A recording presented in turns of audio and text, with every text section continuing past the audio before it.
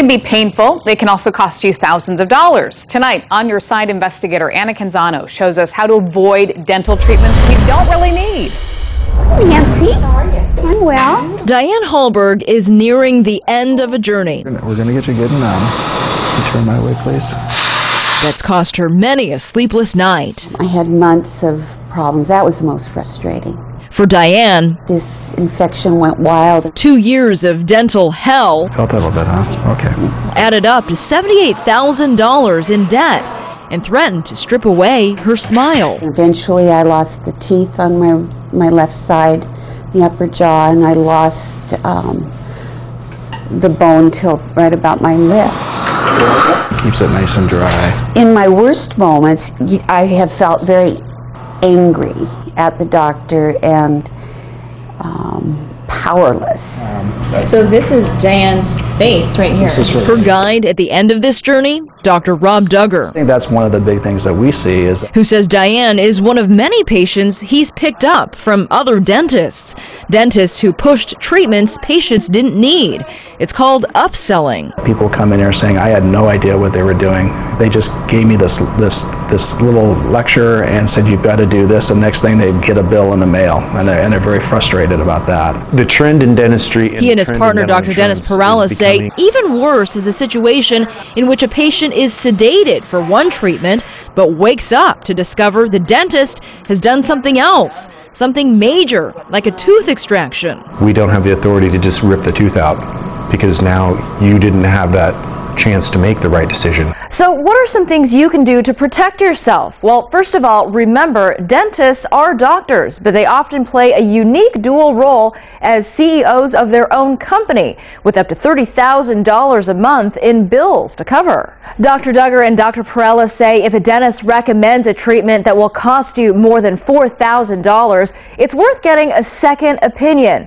Beware the dentist that wants to take on multiple areas of your mouth at the same time. Maybe a five-year plan would work better. And if you are getting sedated, make sure the dentist takes down the name of a spouse or relative so that person can make the call on your treatment while you are in the chair and knocked out. And if you've got a bad tooth, they say consider an implant instead of tooth heroics, extreme measures to save a tooth that may not be worth the pain or the price.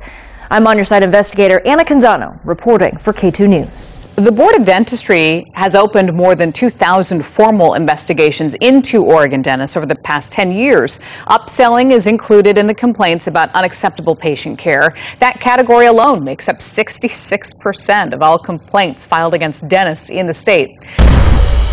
From the On Your Side investigators now, last night at 11, we met a woman who spent thousands of dollars on unnecessary dental work. And tonight, On Your Side investigator Anna Canzano shows us how to learn if your dentist has a history of problems. You might be surprised to know that according to state records, one in eight in Oregon does.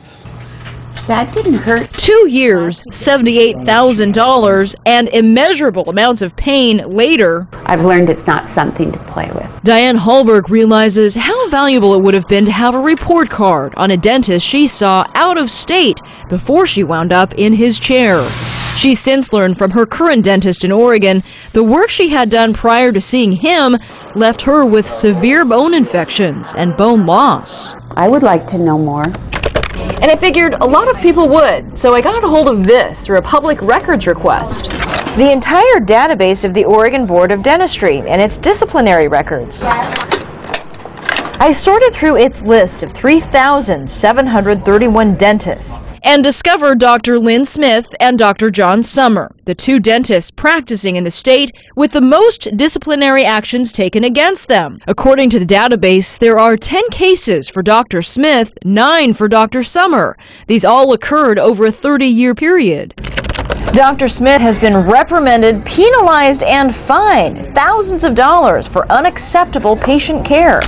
Things like charging the state for the cleaning of a patient's teeth that he had not cleaned, or the extraction of two teeth from a six-year-old girl without the consent of her parent. He never took me up on my offers for an interview. Dr. Summer, on the other hand, did.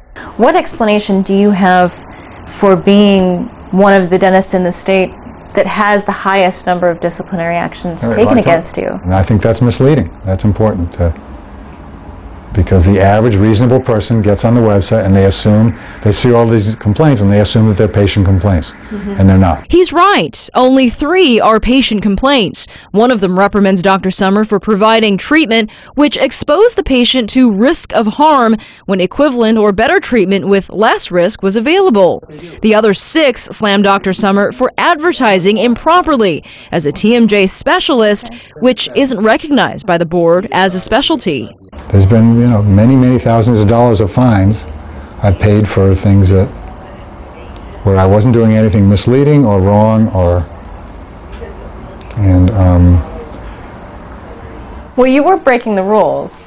with advertising, Yeah. Because you knew that you were only Oh. supposed to advertise. I was breaking the letter but not the substance. He now simply calls his practice the TMJ Clinic, which he is allowed to do. Finding out if your dentist is in trouble with the state is one way to be a smart patient and protect yourself. And you can get it yourself by going to the Oregon Board of Dentistry website, clicking on Licensee Lookup, and typing in your dentist's name. It's that easy, much easier than swallowing a bunch of misery. I'm on your side investigator Anna Canzano reporting for KATU News. And we can tell you there are dentists who have far worse records. For example, dentists who were drunk or on drugs while they practiced. They've had their licenses revoked. To find out if your dentist has a history of problems, go to inside KATU section of KATU.com.